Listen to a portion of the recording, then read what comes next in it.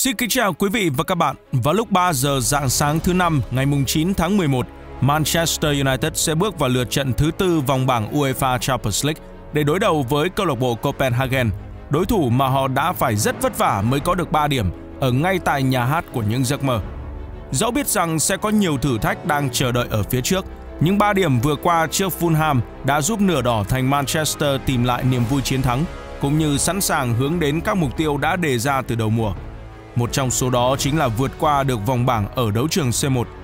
Nhưng với những gì đã diễn ra, dù thắng hay thua, Quỷ Đỏ cũng sẽ phải đối mặt với khá nhiều thách thức để chọn ra đâu là giải pháp tốt nhất dành cho thầy trò Erik ten Hag.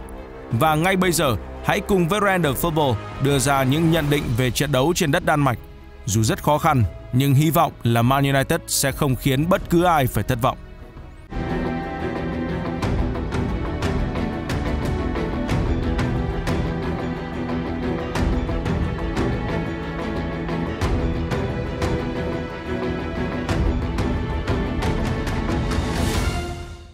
Đầu tiên, hãy cùng điểm qua sự chuẩn bị của hai đội.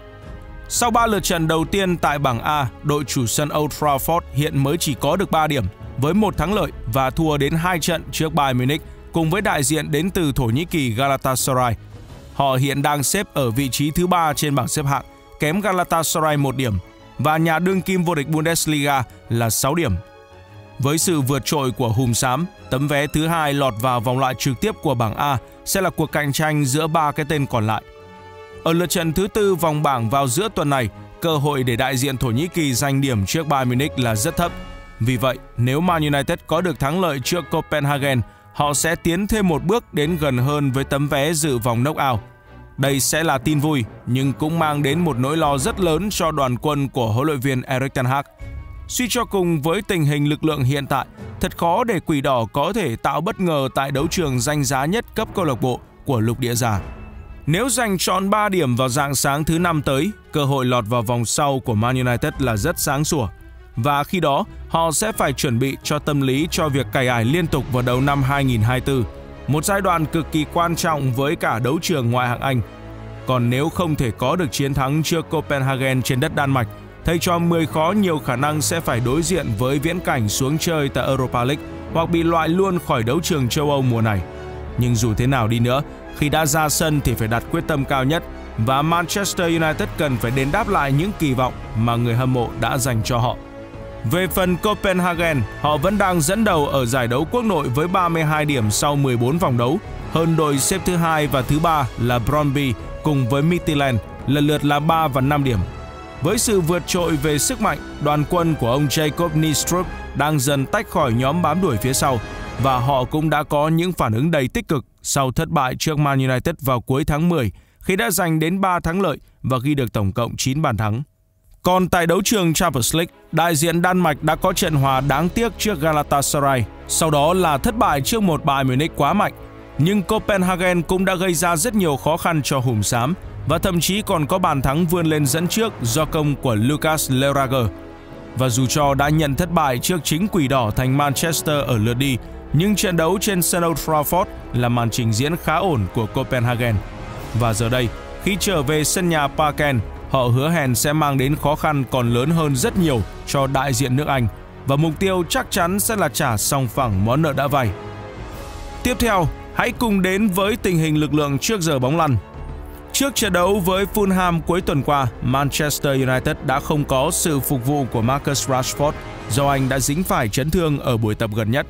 Tuy vẫn cùng với toàn đội di chuyển đến London, nhưng đội ngũ y tế đã quyết định để anh ngồi ngoài nhằm đảm bảo tiến sĩ sẽ có được thể trạng tốt nhất, chứ không nhất thiết phải ép anh thi đấu để rồi nhận lấy hậu quả khó lường. Vì vậy, chuyến hành quân đến Đan Mạch sẽ là cơ hội để Rashi trở lại đội hình xuất phát. Ngoài ra, trên băng ghế dự bị ở sân vận động Craven Cottage, chúng ta đã thấy được sự trở lại của Kobe Mainu. Tài năng trẻ người Anh Quốc dù chưa được tung vào sân, nhưng sẽ là một nhân tố có thể mang đến bất ngờ cho đối thủ. Cùng với đó, trung vệ Rafael Varane nhiều khả năng sẽ đủ thể lực để đá chính sau 2 tuần phải ngồi ngoài vừa qua và anh sẽ kết hợp cùng với Harry Maguire để tạo thành tấm lá chắn vững chắc trước khung thành của Andre Onana. Và thủ thành người Cameroon cũng là nhân tố được kỳ vọng sẽ tiếp tục duy trì màn trình diễn đỉnh cao của mình trong thời gian qua để tạo bệ phóng cho quỷ đỏ giành được 3 điểm. Tuy vậy, Casemiro đã gia nhập danh sách chấn thương vốn đang được cải thiện rất nhiều trong thời gian qua. Tiền vệ người Brazil được chẩn đoán là bị đau ở gân kheo và dự kiến sẽ phải rời xa sân cỏ trong vòng một tháng tới. Anh sẽ cùng với Luke Shaw, Tyra Malasia, Lisandro Martinez và Amad Diallo sẽ vắng mặt trong trận đấu tới. Nhưng tin vui cũng đã xuất hiện khi Luke Shaw cùng với Amad Diallo dự kiến sẽ trở lại sau đợt tập trung đội tuyển quốc gia và hứa hẹn sẽ mang đến chiều sâu đội hình cho Man United thời gian tới. Về phía đại diện Đan Mạch, đội hình mà huấn luyện viên Jacob Nistrup sử dụng cách đây 2 tuần đã cho thấy được sự hiệu quả khi họ tạo ra nhiều tình huống sóng gió về phía khung thành của Man United. Và nếu may mắn hơn, Copenhagen đã có thể ra về với một trận hòa. Đáng tiếc, con trai của huyền thoại Henrik Larsson đã không thể chiến thắng được Andre Onana ở thời khắc quyết định.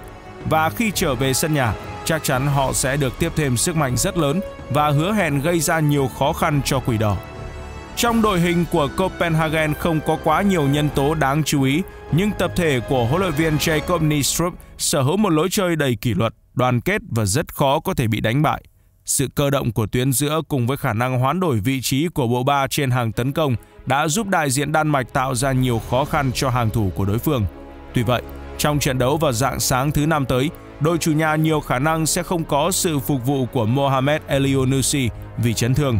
Đây là nhân tố rất quen mặt khi từng có nhiều năm chinh chiến tại Premier League. Ngoài ra, trong trận đấu vào dạng sáng thứ năm tới, Copenhagen sẽ không có sự phục vụ của bốn cầu thủ khác, đó là Noah Sasa, Binger Malling, William Clem và Valdemar Lang. Những sự vắng mặt này cũng không ảnh hưởng quá nhiều đến sức mạnh của đại diện Đan Mạch và họ vẫn sẽ có những binh hùng tướng mạnh đủ để làm khó Manchester United. Và thầy trò Erik ten Hag cần phải thực sự cẩn trọng nếu muốn giành trọn vẹn 3 điểm ở chuyến làm khách này. Về lịch sử đối đầu, trong lịch sử, Manchester United và Copenhagen đã đối đầu với nhau tổng cộng 3 lần ở đấu trường UEFA Champions League và Europa League. Thành tích nghiêng một chút về phía Quỷ Đỏ với hai chiến thắng và một trận thua. Lần đầu tiên hai đội chạm trán nhau là vào ngày 17 tháng 10 năm 2006 tại trận lượt đi trên sân nhà Old Trafford ở vòng 3 Cúp C1 châu Âu thuộc khuôn khổ bảng F. Khi ấy đoàn quân của Sir Alex Ferguson đã giành thắng lợi 3-0 nhờ các bàn thắng của Richardson, John O'Shea và Paul Scholes. Sau đó ở trận lượt về, đại diện Đan Mạch đã đòi lại món nợ với bàn thắng duy nhất của Marcus Albeck. Ở lần đụng độ gần nhất tại tứ kết Europa League mùa giải 2019-2020, đây là thời điểm dịch Covid-19 diễn ra hết sức nghiêm trọng ở châu Âu. Vì vậy, các trận đấu ở cúp C1 và C2 đều quy về một địa điểm để tổ chức. Và tại sân Ray Energy Stadion ở Cologne, Man United đã giành thắng lợi tối thiểu nhờ vào bàn thắng trên chấm phạt đền của Bruno Fernandes ở trong hiệp phụ. Còn ở trận lượt đi, vào dạng sáng ngày 25 tháng 10, bàn thắng duy nhất của Harry Maguire cùng pha cản phá 11m xuất thần ở phút cuối cùng của Andre Onana đã mang về 3 điểm đầu tiên cho Quỷ Đỏ tại C1. Tiếp theo, hãy cùng Renner Football soi kèo và dự đoán kết quả trận đấu vui vẻ. Nhưng hãy nhớ rằng, người đánh là người thua, người không đánh mới là người thắng. Còn thắng cái gì thì chúng tôi cũng không biết.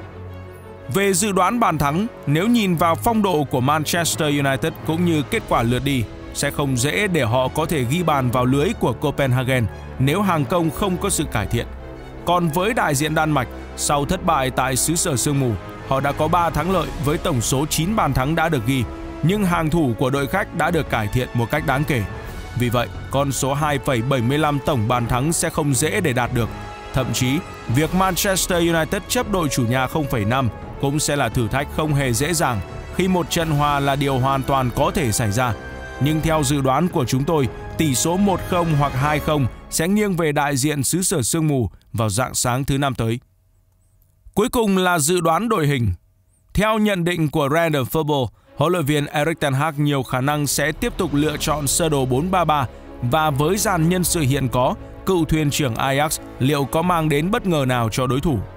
Trong khung gỗ sẽ là thủ thành người Cameroon Andre Onana. Bộ đôi trung vệ sẽ là sự kết hợp giữa Rafael Varane cùng với Harry Maguire, trong khi hai hành lang cánh bao gồm Aaron Wan-Bissaka bên cánh phải và Diogo Dalot ở phía đối diện.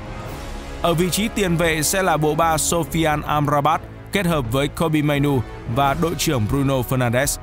Trên hàng tấn công, Marcus Rashford sẽ trở lại bên cánh trái, trong khi Anthony tiếp tục xuất phát bên hành lang phải và cả hai sẽ hỗ trợ cho trung phong cắm Rasmus Højlund. Trong khi đó, Copenhagen nhiều khả năng sẽ tiếp tục trung thành với sơ đồ 4-3-3 quen thuộc, với quyết tâm giành lấy kết quả tốt khi được trở về sân nhà, qua đó trả lại món nợ đã vay ở trận lượt đi. Chiến lược gia Jacob Nistrup sẽ sử dụng những quân bài tốt nhất của mình. Trong khung gỗ sẽ là thủ thành người Ba Lan Kamil Grabara. Bộ đôi trung vệ sẽ là sự kết hợp giữa Calvin Dix và Dennis Vavro, trong khi hai hành lang cánh bao gồm Christian Sorensen bên trái và Peter Ankersen ở phía đối diện.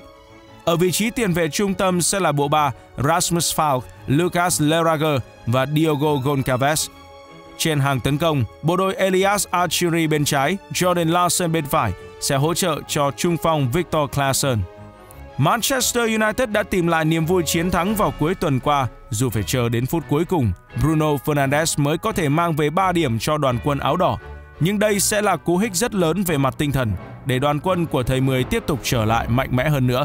Một thắng lợi trước Copenhagen sẽ giúp Quỷ Đỏ tiến gần hơn đến mục tiêu giành lấy tấm vé thứ hai vào vòng knock-out khi mà Bayern Munich gần như chắc chắn sẽ hoàn thành nhiệm vụ với sự vượt trội của họ. Cuối cùng dù rất khó khăn, nhưng chúng tôi vẫn xin được chúc quý khán giả có một buổi tối giữa tuần trọn vẹn niềm vui khi thức khuya để xem đội bóng con cưng thi đấu. 3 giờ dạng sáng thứ năm ngày 9 tháng 11. Hy vọng Manchester United sẽ đền đáp lại sự kỳ vọng từ người hâm mộ bằng một màn trình diễn thuyết phục. Quý khán giả vừa theo dõi một sản phẩm của Random Football. Hãy cho chúng tôi biết cảm nghĩ của các bạn bằng cách để lại bình luận ở bên dưới. Nếu hứng thú với video này, hãy ủng hộ đội ngũ sản xuất của Random Football bằng cách nhấn like và subscribe đăng ký theo dõi, cũng như bật chuông thông báo để không bỏ lỡ những video mới nhất trên kênh nhé. Còn bây giờ, xin chào tạm biệt và hẹn gặp lại.